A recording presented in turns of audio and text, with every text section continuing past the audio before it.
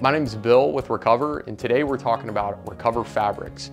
Now we're gonna look at our Eco Tee, which is one of our signature products. It's made with 100% recycled content at our factory in El Salvador. So we have a vertical manufacturing facility in El Salvador where we actually bring recycled materials in, we break those fibers down, we spin it into yarn, knit it into fabric, and cut and sew it into a garment, all within a 10 mile radius. So in addition to being made with 100% recycled content, it's also made within a hyper-local supply chain. The blend of the Eco is 60% upcycled cotton and 40% recycled polyester. So it's a really nice lifestyle tee, great for everyday use. Um, we do a lot of screen printing on these tees. I'm wearing one of our signature colors, Ruby, right now. We have a wide variety of colors available, as well as more colors coming soon.